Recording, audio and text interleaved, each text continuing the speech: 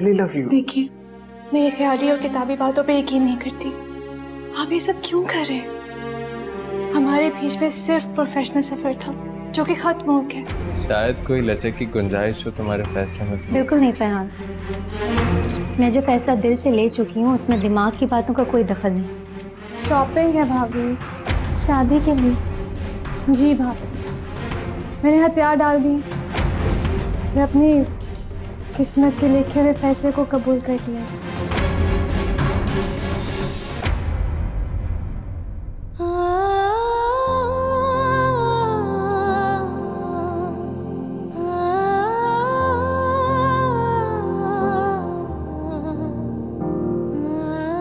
क्या बात है? शादी से खुश नहीं हो तुम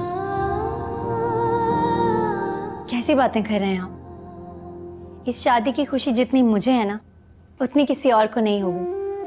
और फिर फरहान ज़रूरी तो नहीं कि अगर इंसान खुश हो तो उसका चेहरा भी खिला खिला नज़र आए। शादी में सबने शॉपिंग कर ली। सबके सूट आ गए। सिर्फ़ एक तुम्हारा ही नहीं आया। देखकर मुझे थोड़ा अजीब तो लगा, लेकिन फिर सोचा मैं खुद ले आता हूँ जाके। ये तुम्हारे लिए है। चलिए तुम पहनोगे। मेरी choice thank you Farhan Anmol अगर तुम अभी भी चाहोगे तो मैं ये शादी बिल्कुल नहीं। ऐसा सोचें भी मत। सुबह ही ने जो इतनी सारी कुर्बानियाँ दी हैं उसे उनका फल देने का वक्त आ गया है।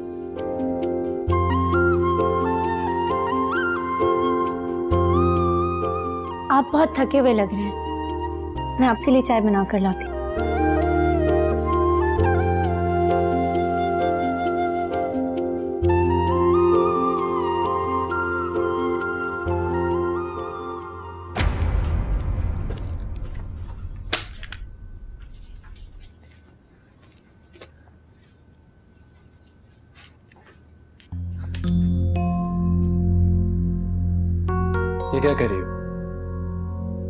रही हो क्या? जी जा रही हूँ मैं। मुझे तो बहुत पहले चले जाना चाहिए था। मैंने जाने में भी देर कर दी।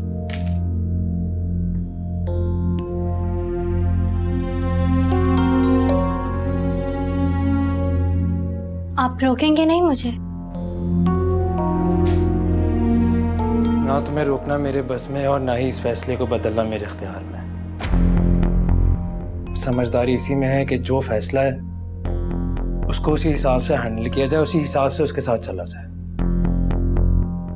बाकी तुम्हारी मर्ज़ी।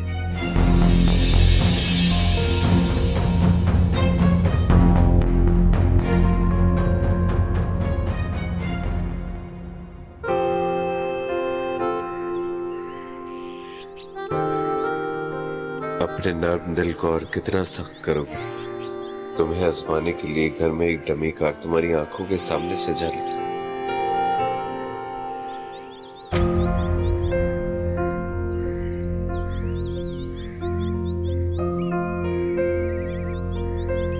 अरे अनमोल कैसा लग रहा है सब कुछ? बहुत अच्छा। जितना सोचा था उससे भी ज़्यादा अच्छा।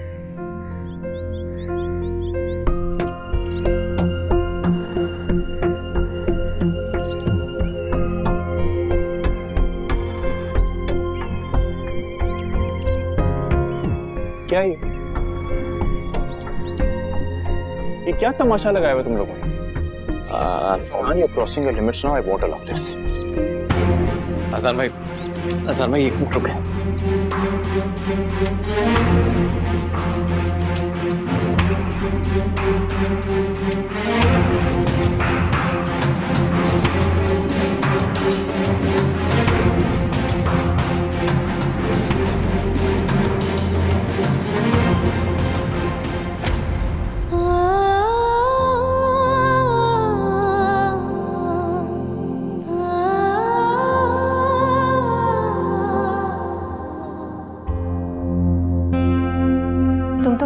दिल अनमोल।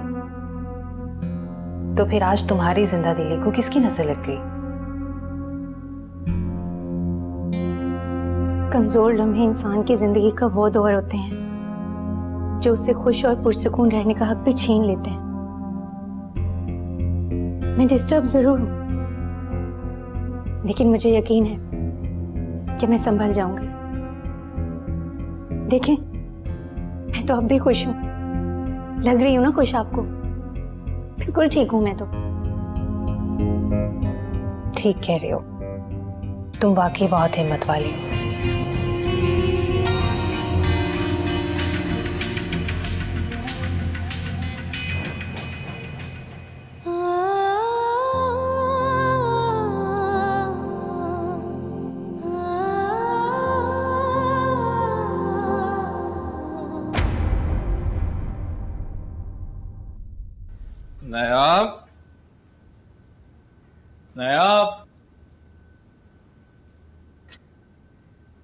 कुछ सामान लाया हूँ शादी के सामान के साथ रख। अब आप ले ही आए हैं तो रख भी खुद ही दे।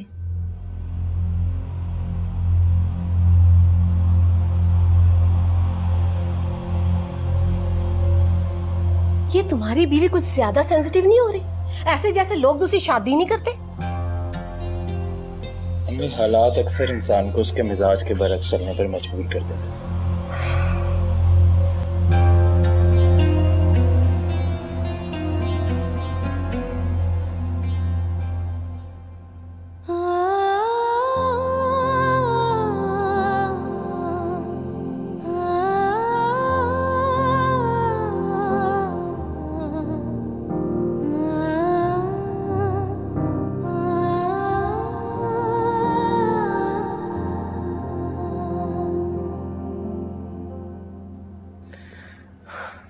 मैं जानता हूँ अनमोल।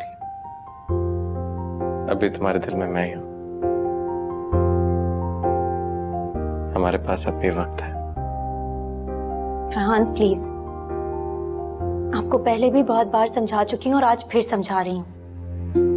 इन रिश्तों को मज़ाक मत समझें। सबसे मुखालफत करके मैं आज यहाँ तक पहुँची हूँ।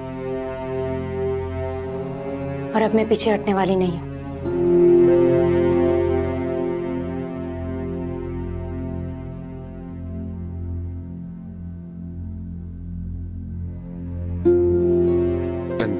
कितनी चाह से बेडरूम सजा दिया। मैं जो अपनी ज़िंदगी से झूठ बोलना चाह रहा हूँ इस पे मुझे माफ़ी मिलेगी भी या नहीं?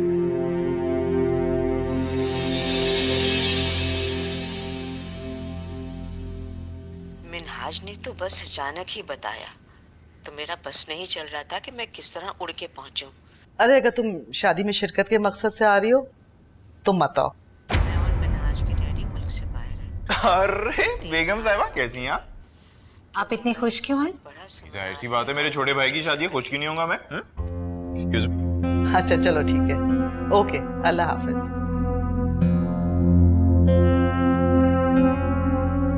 मम्मी जी हम्म? आजान कल तक तो इस शादी को लेके बहुत अपसेट थे। तो अब इतनी खुश क्यों हैं? अजान मेरा बेटा है ना।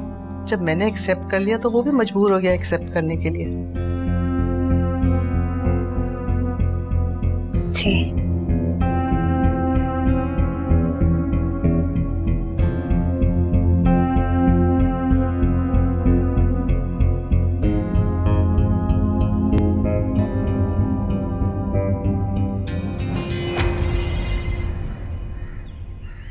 हेलो।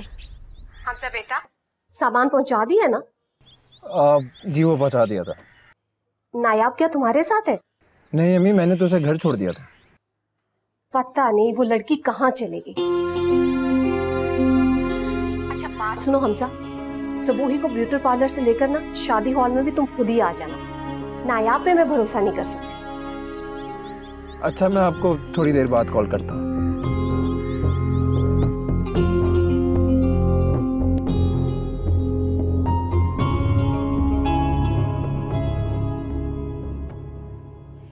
घर में मेहमान भरे पड़े। और घर की बहू का कुछ पता ही नहीं। मुझे पता है तुम इस शादी से खुश नहीं हो। लेकिन कम अज कम दुनियादारी निभाने के लिए मेरा मान तो रख सकती हो ना? आज आपकी बेटी का घर बसेगा और आपके बेटे का घर उजड़ जाएगा। क्या मतलब? सुबोही का निकाह और मेरी खुला साथ होगी। मैंने पेपर्स पर साइन कर दी। आप हमजा से भी साइन करवा लीजिएगा। ये क्या नहीं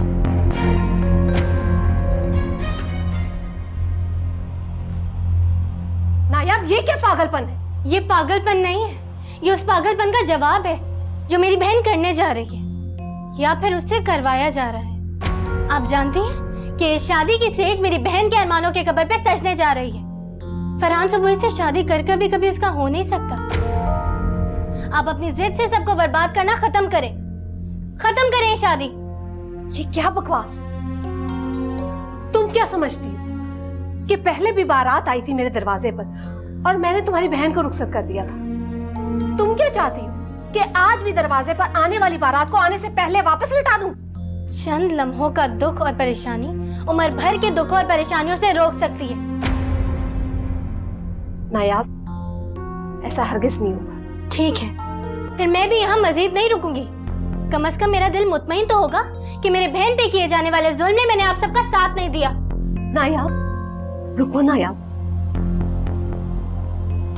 नायाब, आज अगर तुमने एक माँ की मजबूरी देखी होती तो इस तरह का कदम उठाने की कभी धमकी ना देती।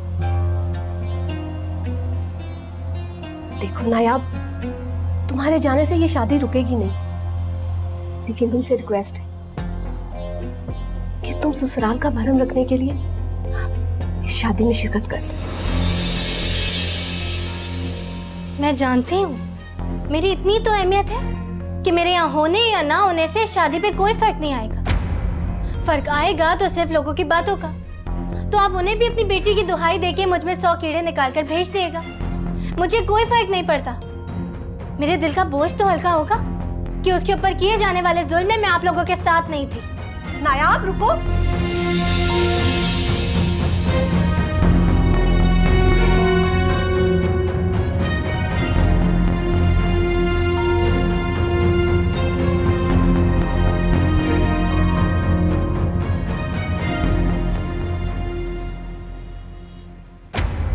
फरहान, तुमने जैसा कहा मैं वैसे करती चली गई।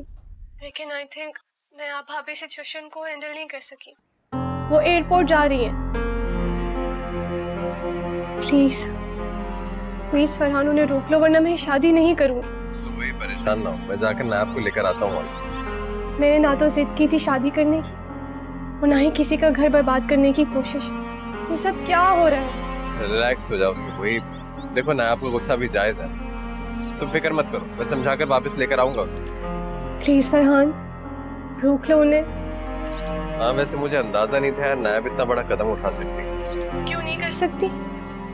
ज़ाहिर है तो उसकी बहन का शोहर उसके साथ ज़्यादा कर रहा हो तो वो कुछ भी कर सकती है फरहान। लेकिन मुझे नायब के इतने एक्सट्रीम रिएक्शन के बारे में अंदाज़ा नहीं था। Please Farhan do something please रोक लो जाके प्लीज़ हाँ हाँ ठीक मैं जाता हूँ।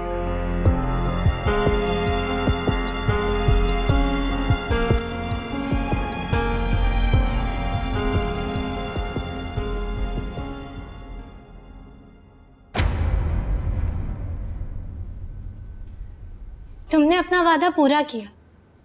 उसी तरह मैं भी अपना कहा पूरा कर रही हूँ। जा रही हूँ मैं। कहाँ जा रही हो तुम? तुम ऐसे कहीं नहीं जा सकती। तुमने तो अपनी जिद के आगे अपने सारे रिश्ते खो दिए अनमोल। शोहर को तुमने दाव पे लगा दिया। माँ तुम्हारी कहती है कि वो तुम्हारे लिए मर चुकी है। अब मैं भी तुम्हारी ज़िंदगी से हमेशा हमेशा के लिए जा रही हूँ। मैंने खुला के पेपर साइन कर दिए। खुला के पेपर साइन कर दिए तुम पागल हो गई हो। नायाब तुम ओवर रिएक्ट कर रही हो। मैं ओवर रिएक्ट नहीं कर रही अनमोल। मुझे जो करना था मैंने कर लिया। लाहौर जा रही हूँ मैं। नायाब ऐसे तुम मुझे ब्लैकमेल नहीं कर सकती।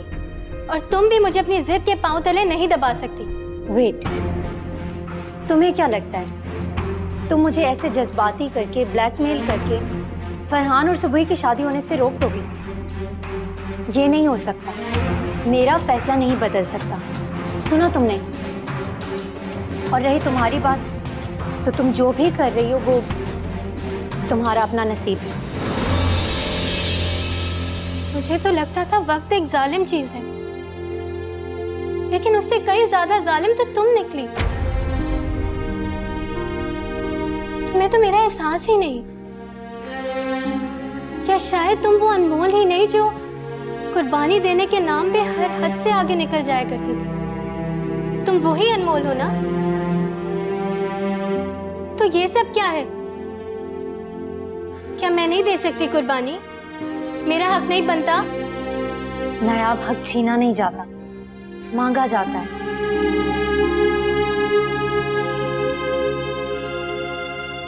आप दोनों को आपकी जिद मुबारक हो। मुझे तो लगता था मेरी बहन मेरी कोई बात नहीं टाल सकती। इसमें कोई शक भी नहीं है ना? अनमोल तुम्हारी कोई बात नहीं टालती। तुम्हारे लिए सब कुछ करती है। क्या आपको जरा सा भी एहसास नहीं? वो अपना छोटा सा गिल्ट मिटाने के लिए अपनी ज़िंदगी से आपका नाम मिटा रही है। अच्छा ऐसी बात है। अनमोल तुम वाकई ऐसा कर रही हो? नहीं। ऐसा तो कुछ नहीं है। देखा ना ऐसी तो कोई बात नहीं। तो फिर सुबह ही से आपकी शादी क्या है? क्या नाम देंगे आप उसे? मर्द की अना या औरत के जज्बातों के साथ खेलना? ना।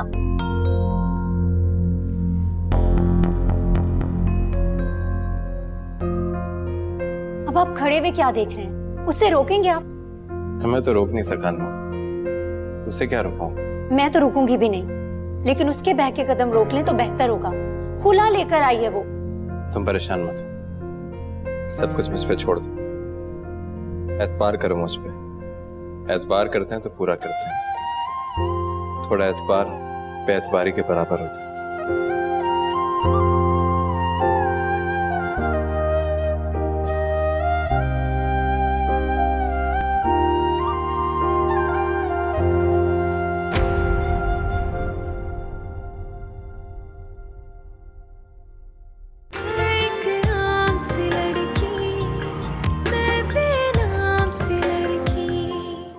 जो घर सज रहा है ना मुझे पता है तुम अंदर से रो रही हो। आपसे किसने कह दिया कि मेरा दिल रो रहा है? क्योंकि मैं औरत के दिल की गहराइयों से अच्छी तरह वाकिफ हूँ। मैंने नायाब से अपनी खुशियाँ बांटने की रिक्वेस्ट की और ये सब कुछ भुलाकर मेरे साथ चली गई। आई एम सॉरी प्लीज़ मुझे माफ़ कर दे। कारी साहब निकाह पढ़ाइएगा।